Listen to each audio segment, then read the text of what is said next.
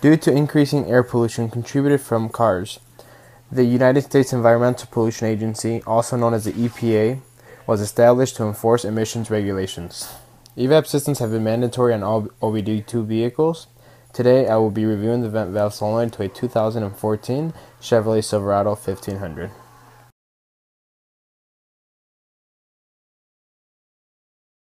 The purpose of the vent valve solenoid is to control the flow of air into and out of the charcoal canister. The vent valve solenoid, also known as just the vent valve, is part of the evaporative emissions control system, commonly called the EVAP system.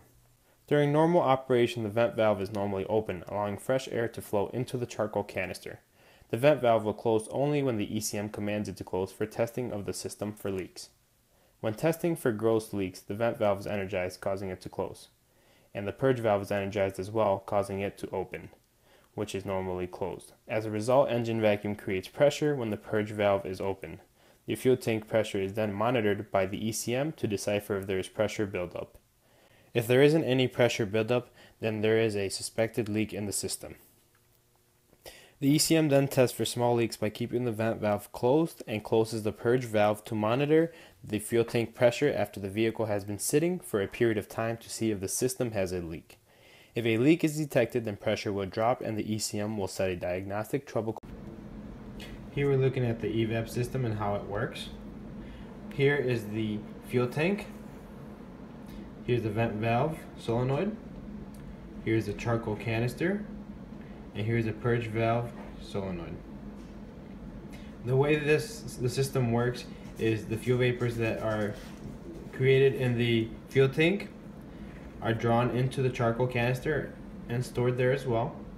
The vent valve op normally open vents fresh air into the charcoal canister and the purge valve solenoid which is normally closed opens when the ECM commands it to and draws fresh air along with fuel vapors through this line and into the engine.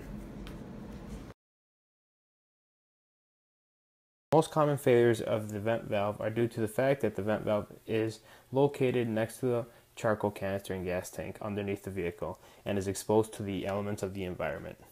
The most common failures are due to an improperly sealing vent valve of clogged elements and debris. Again, since the vent valve is exposed to the elements, it is possible that a rodent of some sort got to the wires and created an open. The vent valve could potentially fail electronically from the vent valve solenoid as well. The solenoid could be shorted or create an open in the circuit. If your DTCs are P0498 or P0499, there is either high voltage or low voltage, meaning the circuit is either shorted to ground or shorted to voltage. Although we aren't diagnosing the component here, we do need to make sure that our circuit is operating properly so we don't condemn the vent valve as being the problem. The simplest way to check for proper operation of the high and low voltage is to do a fo function test on the scan tool and monitor the EVAP vent solenoid valve control circuit low voltage test status and EVAP vent solenoid valve control circuit high voltage test status. If the circuit is operating properly, it will display OK. If there is a problem with the circuit, it will display malfunction.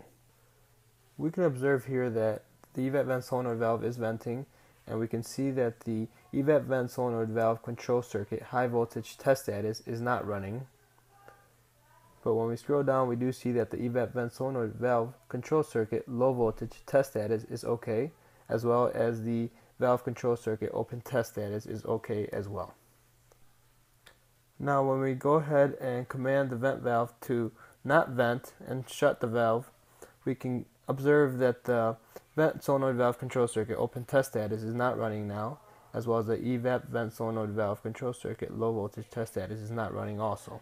But we do see that the vent solenoid valve control circuit high voltage test status is okay.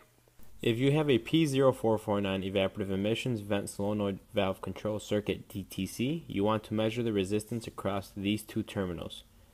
If your DVOM reads between 10 to 30 ohms, the vent valve is within spec. You want to take your DVOM and set it to ohms.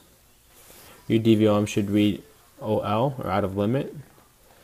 You want to take your two leads and you just want to touch it to each of the two terminals and make sure that you don't touch the two terminals together otherwise you won't get an accurate reading.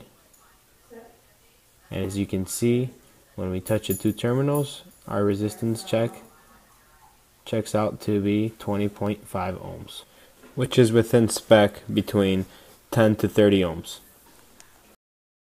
If you have a P0446 evaporative emission vent system performance DTC, you first want to verify the system is working properly with the scan tool by using the data display function.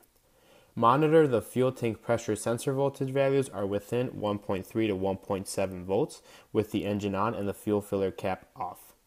Next, you want to let the vehicle idle at operating temperatures for 5 minutes. What you want to do here is you want to command the evap purge solenoid valve to open to 50%. Once you've done that, you want to scroll down and monitor the fuel tank pressure sensor and voltage. You can see here that our fuel tank pressure sensor and voltage is 1.7 volts and you want to make sure and monitor that the fuel tank pressure sensor voltage does not rise above 2.5 volts. Once you have inspected the system for proper operation, you want to inspect the evap system visually of the hoses, the charcoal canister, and the vent valve solenoid for blockage. If nothing was found, you want to use the scan tool to use the functional test and seal the evap system. Now you want to make sure that your fuel level is between 15 to 85% full. Here now you want to hit the seal the seal command and make sure you seal the system and now you want to fill the system with 5 inches of hydrogen. You then want to command the vent valve solenoid to open and the pressure to drop to 0 inches of hydrogen. If it doesn't drop to 0, verify no blockage in the vent inlet or in the vent hose. If there isn't a blockage present, then replace the vent valve solenoid. If you suspect a bad vent valve solenoid and you don't have a scan tool available, you could always remove the component and test for airflow. What you want to do is you want to blow in through one side of the hose and check for airflow through the vent valve solenoid and through the entire other side of the hose and the airflow should come out the other end.